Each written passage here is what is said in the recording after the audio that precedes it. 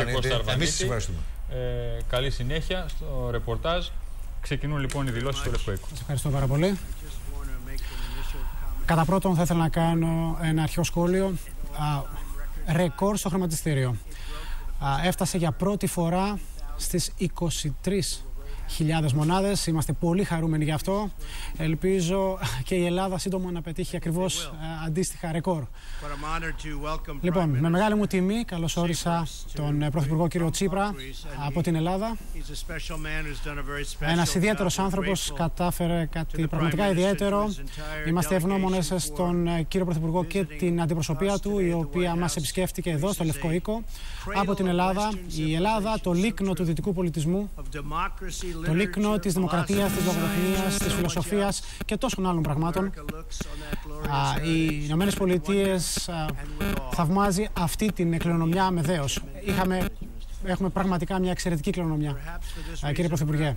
Για το λόγο αυτό, η φιλία των ΗΠΑ με τους Έλληνες ήταν μακρά και ανδεκτική. Ο Τζόμα Τζέφερσον είχε γράψει ότι στην αυγή του το ελληνικό κράτος το ελληνικό κράτος δεν υπήρχε κανένας ο οποίος να μην συμπαθεί περισσότερο το ελληνικό κράτος για την επιτυχία του πέραν των Αμερικανών.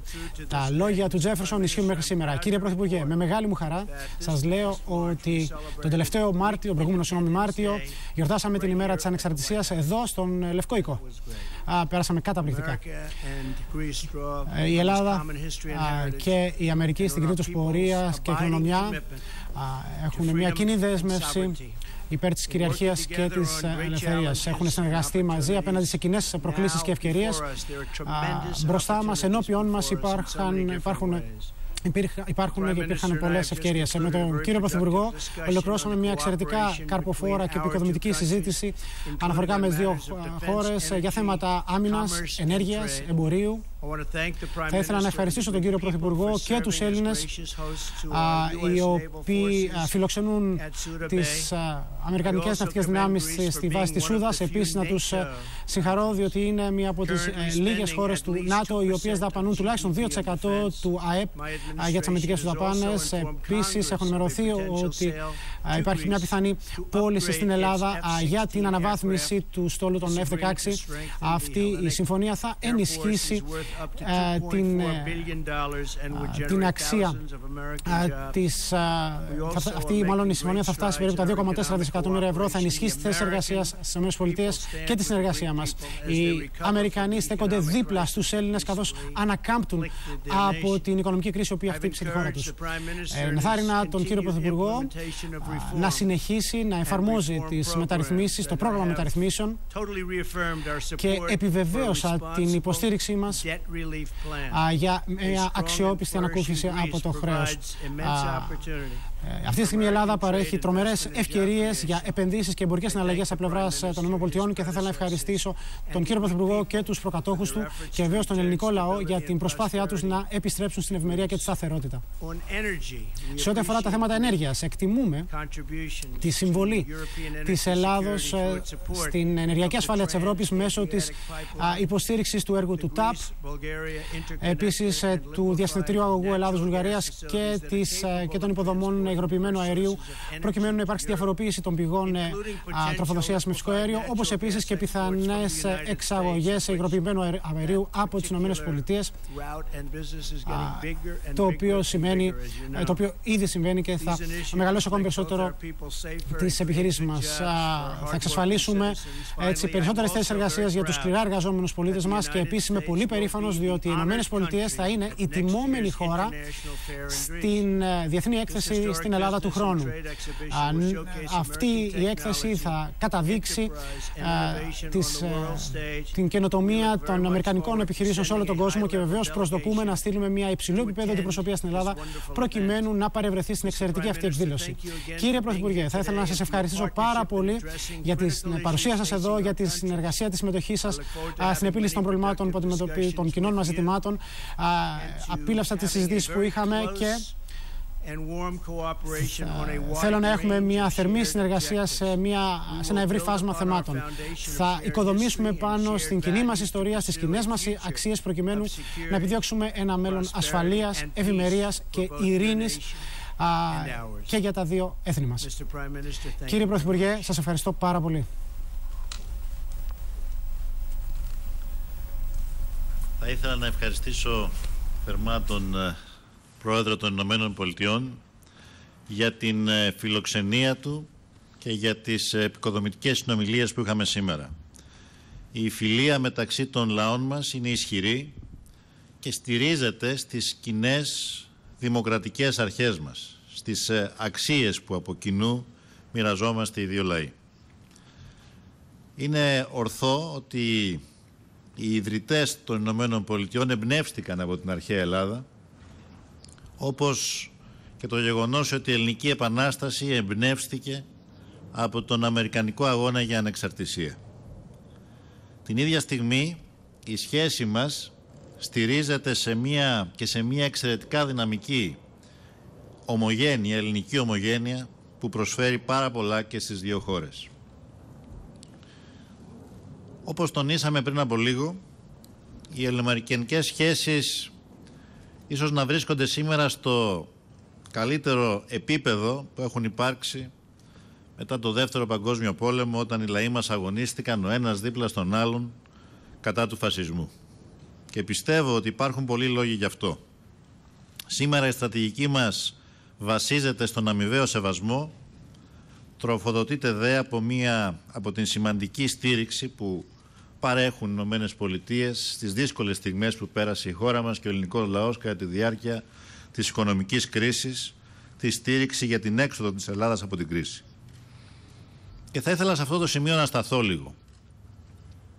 Η Ελλάδα σήμερα εκπληρώνει τρεις βασικούς στόχους που δεν αφορούν μόνο την ίδια, αλλά θα έλεγα ότι έχουν ιδιαίτερη σημασία και σε διεθνές επίπεδο. Πρώτον, εξέρχεται δυναμικά από την κρίση, σημειώνοντας σημαντικούς ρυθμούς ανάπτυξης. Αρχίζει και προσελκύει επενδύσεις και αυξάνει τις εξαγωγές της, όπως βλέπουμε άλλωστε και από το Έλληνο-Αμερικανικό εμπορικό ισοζύγιο. Αφήνοντας πίσω όχι μόνο την κρίση, αλλά και, τις, ε, και το οικονομικό μοντέλο που μας οδήγησε σε αυτήν. Δεύτερον, η Ελλάδα καθίσταται σήμερα ίσως ο πιο σημαντικός πυλώνας ασφάλειας και συνεργασίας σε μια από τις ε, πιο σημαντικές αλλά και ταυτόχρονα ασταθείς, ευαίσθητες θα έλεγα περιοχές στον πλανήτη. Μια χώρα με δυναμική, πολυδιάστατη εξωτερική πολιτική, μια χώρα αξιόπιστος εταίρος και σύμμαχος των ΗΠΑ που εκπληρώνει τις νατοικές της υποχρεώσεις και συνεργάζεται στενά στον αμυντικό τομέα με τις ΗΠΑ. Μια χώρα που διατηρεί ταυτόχρονα το διάλογο με την Τουρκία παρόλες τις δυσκολίες που αντιμετωπίζουμε και τις προκλήσεις πολλές φορές, γνωρίζοντας όμως τη σημασία που έχει η ευρωπαϊκή πορεία της Τουρκίας. Μια χώρα που επίσης προωθεί σχήματα συνεργασίας στη Μέση Ανατολή και στα Βαλκάνια, τα οποία συμβάλλουν σημαντικά στην ασφάλεια και την οικονομική ανάπτυξη της περιοχής. Τρίτον, η Ελλάδα όντας ήδη ισχυρή δύναμη στον τομέα της ναυτιλίας και του τουρισμού, καθίσταται σταδιακά σημαντικός κόμβος μεταφορών και ενέργειας. Να αναφέρω χαρακτηριστικά την ολοκλήρωση του αγωγού TAP και την ε, προώθηση του αγωγού EastMed, τη συμφωνία για σταθμό πλωτό, σταθμό LNG στην Αλεξανδρούπολη και την ε, προοπτική να αποτελέσει η Αλεξανδρούπολη μια σημαντική πύλη εισαγωγής σκιστολιθικού αερίου από τις ΗΠΑ. Να αναφέρω την ανάπτυξη των σημαντικών μας λιμανιών, του Πειραιά και της Θεσσαλονίκης, την αναβάθμιση των αεροδρομίων μας, των περιφερειακών και την προώθηση ταχαίων σιδηροδρομικών διασυνδέσεων με τα Βαλκάνια. Σε αυτό το πλαίσιο είναι σαφές ότι η στρατηγική μας συνεργασία με τις ΗΠΑ καθίσταται πιο σημαντική από ποτέ. Πρώτον, διότι προσβλέπουμε, και αυτό είναι το σημαντικό μήνυμα της επίσκεψής μου εδώ και της συνάντησής μου και με οικονομικούς παράγοντες, προσβλέπουμε σε προσέλκυση σημαντικών αμερικανικών επενδύσεων.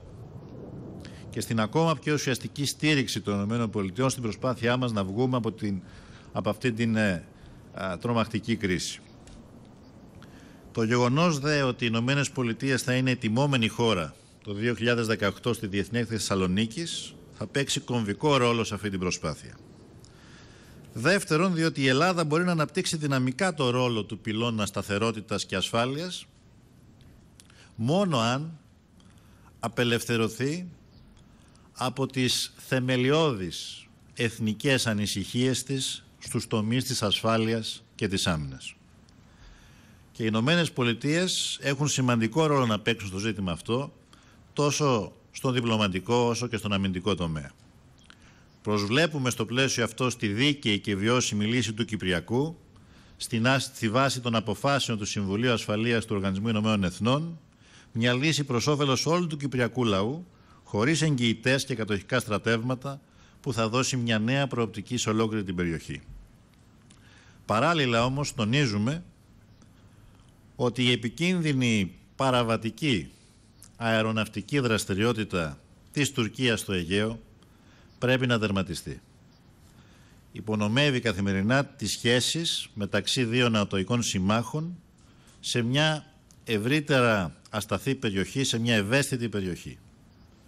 Η Ελλάδα είναι μια χώρα πάντοτε ανοιχτή στο διάλογο, αλλά θέλω να είμαι σαφής, θα προστατεύει και πάντοτε αποφασιστικά τα κυριαρχικά της δικαιώματα έναντι παράνομων διεκδικήσεων και αφισβητήσεων. Με αυτές λοιπόν τις σκέψεις θέλω να ευχαριστήσω θερμά τον πρόεδρο Τραμπ για τις ε, εξαιρετικές συνομιλίες που είχαμε, οι οποίες πιστεύω θα δώσουν μια ουσιαστική όθηση στην ήδη σημαντική δυναμική της συνεργασίας μας. Και να πω ότι αποφασίσαμε και τη δημιουργία μιας ε, μόνιμης ομάδας εργασίας α, ανάμεσα στους ε, υπουργούς οικονομίας για να έχουμε τη δυνατότητα να παρακολουθούμε τη δυνατότητα να υπάρξει μια πολύ ουσιαστική συνεργασία και στις επενδύσεις και στην οικονομία αλλά και σε όλους τους τομείς. Ευχαριστώ θερμά. Okay, we'll take a few questions. Λοιπόν, και τώρα, ερωτήματα. Παρακαλώ.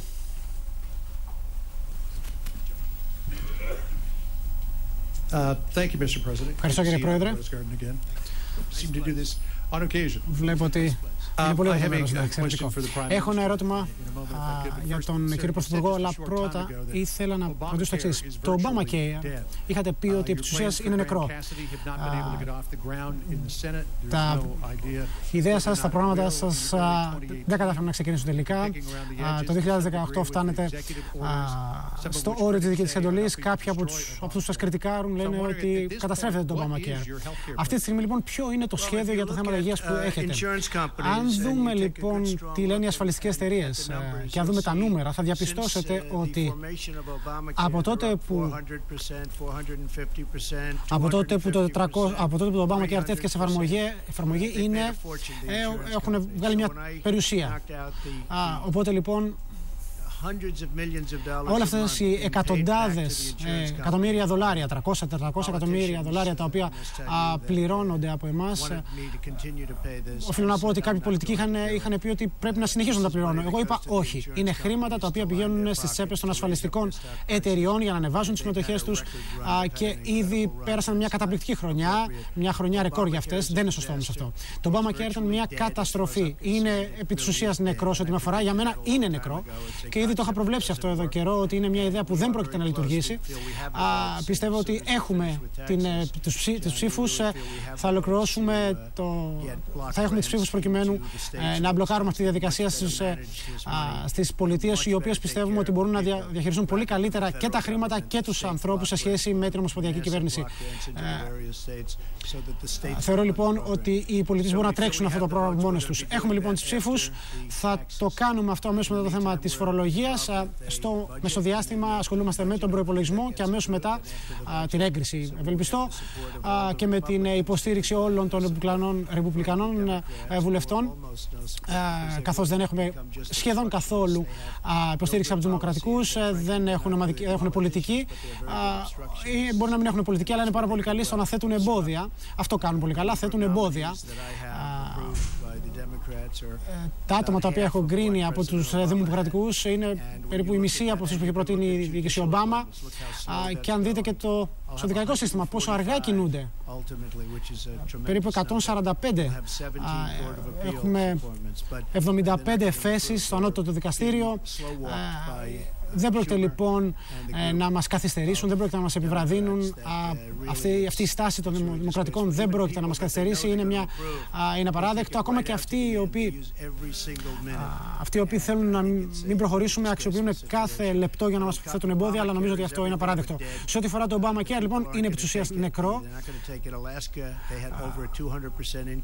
Ε, στην Αλάσκα, για παράδειγμα, είχαμε πάνω από 200% αύξηση, 16% στην Αριζόνα, αν ακούσαμε καλά. Νομίζω ότι οι πολίτες δεν μπορούν να το αντέξουν αυτό πλέον. Έχουμε λοιπόν τις ψήφους και αυτό θα γίνει αμέσως μετά τις μεγαλύτερες φορολογικές μειώσεις φορολογικών συντελεστών που θα έχουν γίνει ποτέ στη χώρα. Στο εγγύς μέλλον. Αν ακούσαμε καλά το πλάνο Κάσιτι συνεχίζει να βρίσκεται. Κύριε Πρωθυπουργέ, το Μάρτιο του 2016 είχατε πει για την πιθανολογούμενη προεδρία του κ. Τραμπ, είχατε πει ότι ελπίζουμε να μην δούμε αυτό το κακό. μετά τη συνάντηση με τον κύριο Πρόεδρο, αλλάξατε άποψη. Μακάρι να το ήξερα αυτό πριν την ομιλία μου, λέει ο κ. Τραμπ. Διαπίστωσα από την ε, συνάντηση που είχαμε τον Πρόεδρο ότι η προσέγγιση του στα, πράγματα και ο τρόπος με τον οποίο αντιμετωπίζει την ε, πολιτική ορισμένες φορές μπορεί να μοιάζει διαβολικός αλλά γίνεται για καλό. Οι Ηνωμένε Πολιτείε είναι μια εξαιρετικά σημαντική δύναμη και οι δυνατότητες τους να παρέμβουν ε, για το καλό είναι εξαιρετικά σημαντικές. Θέλω λοιπόν να σας διαβεβαιώσω ότι η συνάντηση που είχα μαζί του ήταν εξαιρετικά γόνιμη. Δεν αισθάνθηκα ούτε μια στιγμή ότι απειλούμε, αντιθέτως αισθάνθηκα ότι υπάρχει μια γόνιμη προοπτική προκειμένου να παραμερίσουμε τις όποιες διαφορές μπορεί να υπάρχουν και να δούμε το κοινό έδαφος. Κοινό έδαφος που είναι πολύ σημαντικό για τις σχέσεις των δύο λαών μας που είναι παραδοσιακές και ιστορικές και για τους κοινούς μας στόχους. Μοιραζόμαστε κοινές αξίες. Μην ξεχνάτε ότι η αξία της δημοκρατίας και της ελευθερίας γεννήθηκε στην Ελλάδα και είναι μια από τις βασική αξία που διατρέχει την ε, αμερικάνικη κουλτούρα και την αμερικάνικη παράδοση. Αυτών των αξιών συνεχιστής είναι ο σημερινός πρόεδρος των ΗΠΑ και προσβλέπω τη συνεργασία μας θα είναι πολύ ουσιαστική. Είμαι πολύ αισιόδοξος μετά τη συνάντηση που είχαμε σήμερα μαζί. Ευχαριστώ τον κύριο Πρωθυπουργό. Απλά να προσθέσω ότι Υπήρχαν κάποιες, μια σειρά χωρών οι οποίες ήταν αγχωμένες ε, και δεν είχαν τις βέλτιστες σχέσεις. Ο λόγος λοιπόν της ανησυχίας τους ήταν ότι δεν είχαμε επιτρέψει εμείς στη δική μας χώρα, στις Ηνωμένες Πολιτείες των Αμερικών, της Αμερικής συγγνώμη, να αξιοποιήσουν τις σχέσεις τους με αυτές τις χώρες. Αν δείτε το εμπορικό μας έλλειμμα, είχαμε ουσιαστικά ελληματικό εμπορικό ισοζύγιο με κάθε ε, χώρα. Θέσει εργασίας έφευγαν προ άλλες χώρες, εταιρείες έφευγαν, απολύσεις ε, γίνονταν, ε, γίνονταν επενδύσεις εκτός χώρας και επέστρεφαν. Όχι, αυτό δεν πρόκειται να το επιτρέψω πλέον. Υπάρχουν κάποιες χώρες και οι ηγέτες συγκεκριμένων χωρών έχουν κάποια συναισθήματα, καταλαβαίνω, αλλά δεν θα επιτρέψουμε οι Ηνωμένες Πολιτείες της Αμερικής να τύχουν, γίνουν αντικείμενο εκμετάλλευση από άλλους. Δεν μπορούμε να κάνουμε τίποτα άλλο από αυτού. Ένα ερώτημα για εσά. Κυρία Λεναργύρη, κύριε Πρωθυπουργέ, πώς σχεδιάζετε να προσελκύσετε μακρόπνοες άμεσες ξένες επενδύσεις και αν μπορείτε λίγο να, το, να μας αναλύσετε τα βήματα τα οποία θα λάβει η χώρα προκειμένου να αντιμετωπίσει τα ζητήματα γραφειοκρατίας και υπερφορολόγησης τα οποία ανησυχούν επενδυτές σε όλο τον κόσμο λέγοντας ότι η Ελλάδα είναι θετική ε, για επενδύσεις. Και κύριε Πρωθυπουργέ, πώς προσελκύετε, πώς ενθαρρύνετε τις αμερικανικές επιχειρήσεις να έρθουν στην ε, Ελλάδα και πώ σχολιάζετε τις προσπάθειες των ΗΠΑ να προσελκύσουν επενδύσεις, ε, τα λόγια μάλλον που προέρχονται από τις ΗΠΑ για τη διαχείριση των επενδύσεων και τη διαχείριση του χρέους. Είναι ένα θέμα να κάνεις, ε, να παρεμβαίνεις νομοθετικά για να προσελκύσεις επενδύσεις και ένα άλλο θέμα πολύ σημαντικό να δουλεύεις καθημερινά προκειμένου αυτοί οι νόμοι να γίνουν πραγματικότητα και οι επενδύσεις να υλοποιηθούν σε ένα σταθερό περιβάλλον. Εμείς λοιπόν θελήσαμε από την πρώτη στιγμή να συγκρουστούμε με τις ε, βασικές παθογένειες της ε, ελληνικής δημόσιας διοίκησης και να δημιουργήσουμε ένα φιλικό περιβάλλον στις επενδύσεις, στις ξένες επενδύσεις, γιατί ξέρουμε ότι αυτή είναι η προτεραιότητά μας σήμερα. Επενδύσεις σημαίνουν δουλειές, δουλειές σημαίνουν μείωση της ανεργίας και επιστροφή των νέων ανθρώπων που έχουν φύγει στο εξωτερικό, των υψηλά εξειδικευμένων και μορφωμένων να έρθουν να δουλέψουν στην Ελλάδα. Τι κάναμε λοιπόν; Περάσαμε ένα αναπτυξιακό νόμο από τη Βουλή που δίνει σταθερό φορολογικό περιβάλλον, σταθερό φορολογικό συντελεστή για μία 12 ετία για επενδύσεις σε πολύ μεγάλες αξίες. Απλοποιήσαμε τις διαδικασίες αξιολόγησης ε, αδειοδότησης επενδύσεων.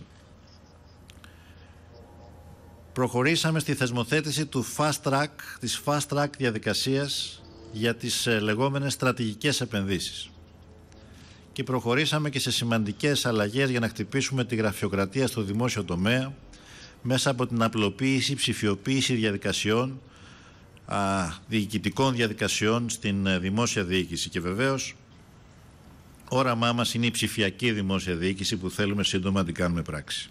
Προσωπικά εγώ έχω συγκροτήσει μια task force στο Πρωθυπουργικό Γραφείο α, για τις επενδύσεις για να βλέπουμε αν εφαρμόζονται οι νόμοι, αν υπάρχει αποτελεσματικότητα και βεβαίως δίνουμε το ισχυρό μήνυμα της πολιτικής βούλησης να προχωρήσουν αυτά τα σημαντικά έργα.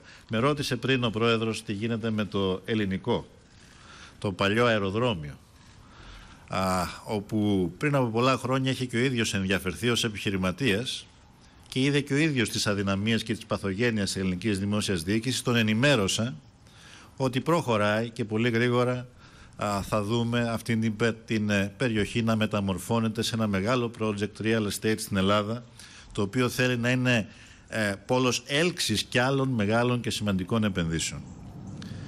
Επίσης να πω ότι για πρώτη φορά η Ελλάδα από τελευταία χώρα έγινε πρώτη χώρα σε απορροφητικότητα ευρωπαϊκών κονδυλίων α, επενδυτικών κεφαλαίων από ευρωπαϊκά διαρθρωτικά ταμεία. Βρισκόμαστε λοιπόν σε ένα σημείο στροφής σε ένα σημείο που οι επενδύσεις μπορεί να δώσουν τη δυνατότητα να βγούμε οριστικά από την κρίση.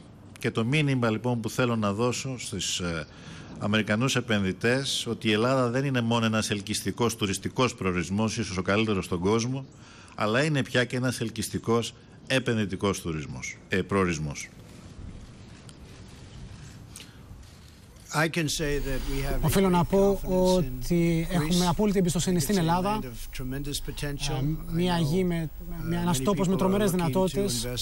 Πολλοί προσβλέπουν στις ε, επενδύσεις στην Ελλάδα. Υπάρχουν προβλήματα, τα αφήσαν πίσω τους. Έχουν, έχουν πάρει πολλές δύσκολες αποφάσεις. Είμαστε χαρούμενοι βεβαίως με την προοπτική ανανέωσης ε, του στόλου τους των πολεμικών αεροσκαφών έχουν, την υπάρχει προοπτική συμφωνία για αγορά αεροσκαφών από την Boeing και προσβλέπουμε να συνεργαστούμε με την Ελλάδα, να τη βοηθήσουμε να ορθοποδήσει και πάλι. Έχουμε στη χώρα μας εξαιρετικούς Έλληνες ομογένειας οι οποίοι φέρουν αυτή την κληρονομιά και νομίζω ότι αυτή η χώρα, μία από τις πιο όμορφες χώρες του κόσμου, έχει τρομερές δυνατότητες και ελπίζουμε πραγματικά να τις αξιοποιήσει πλήρως. Jennifer, you want to go? Παρακαλώ εσείς. Thank you, Mr. President. Ευχαριστώ κύριε Πρόεδρε. Ένα ερώτημα και στους δύο. Ξεκινώ με εσάς κύριε Πρόεδρε. Ένα ερώτημα για τη Fed, την Ομοσπονδιακή Τράπεζα. Έχετε άλλους υποψηφίους που εξετάζετε πέρα από την κυρία Γέλεν, τον Πόλων και όλα αυτά τα ονόματα που έχουν αναφερθεί. Έχετε κάποιους άλλους; Ναι, θα έλεγα στους πέντε που γνωρίζετε θα βρείτε και την απάντηση και την απόφαση θα την πάρω στο εγγύς μέλλον. Μπορείτε να μας πείτε ποιος είναι ο προτιμόμενος. Ειλικρινά μου αρέσουν όλοι οι υποψηφοί. Πραγματικά, πραγματικά. Ε, σέβομαι ιδιαίτερα όλους, αλλά θα λάβω την απόφαση ε, στο εγγύς μέλλον. Ένα ερώτημα, σύντομο ερώτημα για το Obamacare. Προφανώς, ο κ. Αλεξάνδρ είχε πει ότι είχε κάνει μια συμφωνία με άλλους γερουσιαστές για να σταθεροποιήσει τον Παμακέαρ. Υπήρξε εμπλοκή ζητημάτων του προπολογισμού σε αυτό το θέμα. Ναι, ε, είναι μια βραχυπρόθεσμη συμφωνία, διότι θεωρούμε ότι στη τελική ανάλυση η απάντηση θα είναι ε, το νέο νομοσχέδιο. Είναι μια καλή λύση η οποία θα εξοικονομήσει και χρήματα αλλά θα προσφέρει καλύτερη υγειονομική περίθαλψη στους πολίτες μας. Βλέποντας τι συμβαίνει αυτή τη στιγμή θα έχουμε λιγότερες δαπάνες. Ο Λαμάρ εργάζεται στενά με τους ομολόγους του από το Δημοκρατικό κόμμα, Πατημέρια παράδειγμα, και πλησιάζουν στην, στην σύναψη μιας βραχυπρόθεσμης λύσης ενός έτους, δύο ετών, που θα μας βοηθήσει να περάσουμε αυτό το μεσοδιάστημα, διότι όπως γνωρίζετε, είτε έχουμε τις ψήφους, είτε είμαστε πολύ κοντά στο να αποκτήσουμε τις ψήφους που χρειαζόμαστε, προκειμένου να έχουμε τη δυνατότητα να έχουμε ένα εξαιρετικό υγειονομικό, ένα σύστημα υγειονομικής περιθάλψης στη χώρα μας. Ε, θα είναι λοιπόν μια βραχυπρόθεσμη λύση, ούτως ώστε να μην έχουμε αυτή την επικίνδυνη, αν θέλετε, μικρή περίοδο, επικίνδυνη παρενθετικά και για τις ασφαλιστικές εταιρείες, μια περίοδο ενός έτους, δύο ετών. Θα έχουμε μια εξαιρετική λύση α, και θα έχουμε βέβαια και μια τελική εξαιρετική λύση για τα ζητήματα υγείας. Και σε αυτό το επίπεδο συνεργαζόμαστε στενά και ξέρω πολύ καλά τι πράττουμε. Α, κύριε Πρωθυπουργέ, σε ό,τι αφορά την Τουρκία, θεωρείτε ακόμα την Τουρκία ως μια δημοκρατία, παρα... δεδομένου ότι η Τουρκία παραμένει χώρα μέλος του ΝΑΤΟ. Πρέπει να σας πω ότι παρά τις ε, ανησυχίες μας για την Τουρκία και τις ανησυχίες μας που εδράζονται και στην καθημερινή παραβατική συμπεριφορά στο Αιγαίο.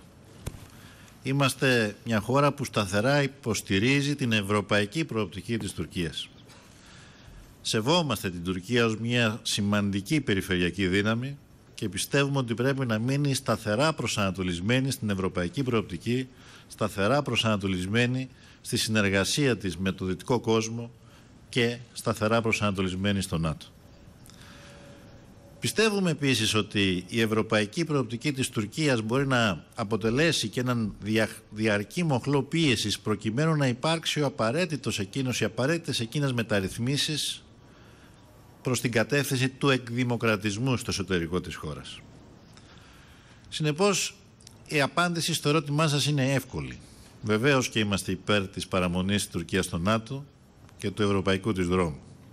Από την άλλη πλευρά όμως, θα πρέπει να διασφαλίσουμε και να κάνουμε σαφές στη σύμμαχο αυτή χώρα και στην ηγεσία της ότι ο δρόμος προς την Ευρώπη και η παραμονή και συνεργασία, στενή συνεργασία με το δυτικό κόσμο έχει και κάποιες υποχρεώσεις που θα πρέπει να τηρεί, κάποιες προϋποθέσεις. Και μία από τις απαραίτητες προϋποθέσεις είναι να σέβεται το διεθνές δίκαιο, να συνεργάζεται και να μην ε, ε, φροντίζει να υπάρχουν αντιθέσεις και εντάσεις με σύμμαχες χώρες όπως η Ελλάδα. Αυτή είναι η βασική μας κατεύθυνση και νομίζω ότι είχα την ευκαιρία σήμερα να την ε, αναλύσω στον πρόεδρο Τραμπ εξηγώντας του την ε, ανάγκη προκειμένου αυτές οι προϋποθέσεις να εκπληρωθούν, να υπάρξουν σαφή μηνύματα και προς την πλευρά της ε, τουρκικής ηγεσίας. Okay, please. Παρακαλώ. Thank you. Mr. Prime Minister, Κύριε Πρωθυπουργέ, um, how do you uh, as Greeks like to hear about the όπως geostrategic importance οι Έλληνες of Greece θέλουν, in the region. αρέσκονται να ακούνε για What την is your στρατηγική σημασία της government χώρας planning στην to περιοχή; do Τι to σκοπεύει να κάνει η enhance, κυβέρνησή σας uh, προκειμένου this role, να uh, ενισχύσει αυτό and το to- ρόλο; for the benefit of the bilateral α, προς relationship όφελος των ε, διμερών and, σχέσεων, Συγκεκριμένα σε ό,τι αφορά τη βάση της Σούδας. Υπάρχουν κάποια σχέδια για αυτή; Και κύριε Πρόεδρε, Χαιρετίσατε την συμβολή της Ελλάδος στο ΝΑΤΟ και μέσω της βάσης της Σούδας of the Eastern σε μια Mediterranean, α, what do περιοχή you της see as the Ανατολικής Μεσογείου potential τόσο of Greece ευμετάβλητη. being as a pillar of Πώς βλέπετε το stability ρόλο in της the Ελλάδος region? ως And πυλώνα what σταθερότητας would στην the US περιοχή like to see και τι θα happening in ήθελαν order να for δουν οι Greece Ηνωμένες to Πολιτείες να exist? συμβαίνουν προκειμένου η Ελλάδα να αξιοποιήσει αυτές τις δυνατότητες. Θα ήθελα να ξεκινήσω λέγοντας ότι α, καλύτερα παίξει ένα πολύ σημαντικό ρόλο σταθερότητας στην περιοχή. Έχουμε την αίσθηση ότι α, θα είναι όλο και πιο δυνατή. Εξαιρετικά σταθερή χώρα με, η οποία όταν ξεπεράσει αυτό το τεράστιο οικονομικό εμπόδιο έχει τη δυνατότητα να κάνει τεράστια άλματα. Πιστεύουμε ότι θα υπάρξει σταθερότητα στην Ελλάδα και βεβαίως σε αμυντικό επίπεδο θεωρούμε ότι είναι σημαντικός εταίρος των ΗΠΑ. Έχουμε μεγάλη εμπιστοσύνη στην Ελλάδα ως έθνος. Έχουμε τεράστια εμπιστοσύνη σε αυτό που πράττουν αυτή τη στιγμή σε αμυντικό επίπεδο, διότι ξέρω ότι έχουν σχέδια να κάνουν κάποιες, να προβούν σε εκπληκτικέ κινήσεις και ξέρω ότι θα είναι σύμμαχό μας για πολλά χρόνια. Ήταν πάντα ένας πολύ αξιόπιστος σύμμαχο και ήμασταν πάντα αξιόπιστοι απέναντί τους. Προσδοκούμε λοιπόν να συνεχίσουμε αυτή τη σχέση για πολλά χρόνια. Θα είμαστε φίλοι για πολλά χρόνια και η σταθερότητα είναι πολύ σημαντική και αυτό προσβλέπουμε σε αυτό να γίνει με την Ελλάδα σε ρόλο κλειδί. Αναφορικά με τις πρωτοβουλίες που έχουμε, που σκοπεύουμε να πάρουμε, αλλά και με αυτές που έχουμε ήδη πάρει για να εμβαθύνουμε τον στρατηγικό ρόλο της ε, Ελλάδας ως ενός ε, αξιόπιστου εταίρου και στην Ευρωπαϊκή Ένωση και στο ΝΑΤΟ. Να πω ότι από την πρώτη στιγμή που αναλάβαμε τη διακυβέρνηση, προχωρήσαμε με το Υπουργείο Εξωτερικών σε, μια, σε ένα νέο δόγμα μιας πολυδιάστατης εξωτερικής πολιτικής, αλλά με βασικό στόχο να αναβαθμίσουμε το ρόλο της Ελλάδας ως ε, μιας χώρας α, πυλώνα ασφάλειας και σταθερότητας σε μια ασταθή και αποσταθεροποιημένη περιοχή. Το κάναμε καταρχάς εμβαθύνοντας τη συνεργασία μας με δύο σημαντικούς εταίρους στην περιοχή, το Ισραήλ και την Αίγυπτο. Με τριμερείς και πολυμερείς ε, συνεργασίες. Η Ελλάδα, η Κύπρος μαζί με το Ισραήλ, η Ελλάδα, η Κύπρος μαζί με την Αίγυπτο, αλλά και με άλλες σημαντικές χώρες στην περιοχή, όπως η Ορδανία, ο Λίβανος. Στόχος μας είναι μέσα από αυτές τις πολυμερείς συνεργασίες να διασφαλίσουμε την συνεργασία, τη σταθερότητα, την ειρήνη, την συνανάπτυξη σε αυτή την περιοχή. Βεβαίως η Ελλάδα διαδραματίζει εδώ και αρκετά χρόνια έναν, ε, όπως πραγματικά τονίστηκε και πριν, διαδραματίζει το ρόλο ενός αξιόπιστου συμμάχου των Ηνωμένων Πολιτειών. Ταυτόχρονα όμως έχει και μια μοναδική ιδιαιτερότητα. Μπορεί να συνομιλεί η Ελλάδα με τον αραβικό κόσμο, με άλλες χώρες στην Ανατολή, άρα δεν είναι απλά ένα κράτος μέλος του ΝΑΤΟ αλλά ένας χρήσιμος σύμμαχος για τις Ηνωμένες Πολιτείες Αμερικής. Σε ό,τι αφορά την Κρήτη και την βάση της Σούδας, είναι σε όλους μας γνωστό ότι έχει ιδιαίτερη γεωστρατηγική σημασία, την οποία την αξιολογήσαμε από κοινού και πιστεύω ότι ήδη γίνεται μια πολύ σημαντική δουλειά εκεί, η οποία μπορεί και πρέπει να αναβαθμιστεί.